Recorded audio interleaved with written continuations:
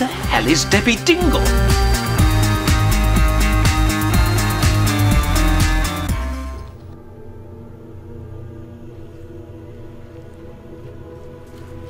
The last time I tasted something truly exciting was August 5th, 1991.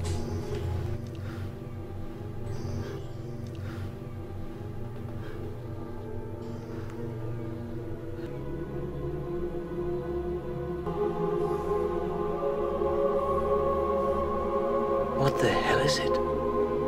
The flavor profile is extraordinary. Yeah, well, better late than never.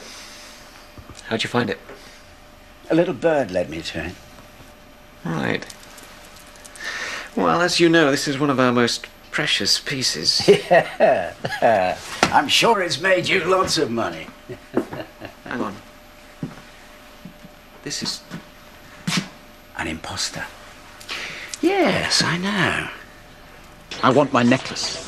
Oh, I don't know where it is. Oh, you know all right. And I'm going nowhere till you explain what the hell's going on. Now you better start telling me the truth if you want to stay pretty. Where's my stuff? Where is it? I don't know, honest. Hey, hey, hey, hey, whoa, whoa, whoa, now that's not nice, mate. Get your hands off me, you filthy scum, you motherfucker.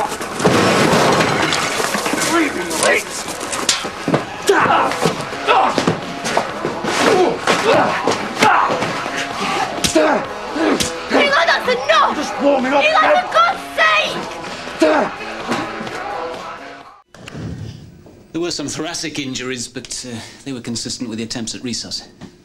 What about toxicology? As yet, there's nothing to suggest foul play. So the baby died of natural causes? By their very nature, these cases are inconclusive. Unless there's something blindingly obvious or we're fortunate. A precise cause can be a needle in a haystack. Sorry. He's not a bad sort, you know. You'll be all right. Oh, I hope so. So, uh, how's my hound? Billy. He's ready for home. Grace. Uh, listen, I've been thinking, um, only I'd like to thank you properly. Oh, there's no need. Perhaps I could take you out for a meal sometime? Well, go on then. Yeah, that would be really nice. And now we're moving on to lot number seven on your list, ladies and gentlemen. Thank you, sir. At the back, £240,000 bid. 242.5. 245. The bid's with the gentleman at the back at £245,000. At 245,000. £245,000 bid at 245. Any more? At £245,000 once. Twice. Are you all done?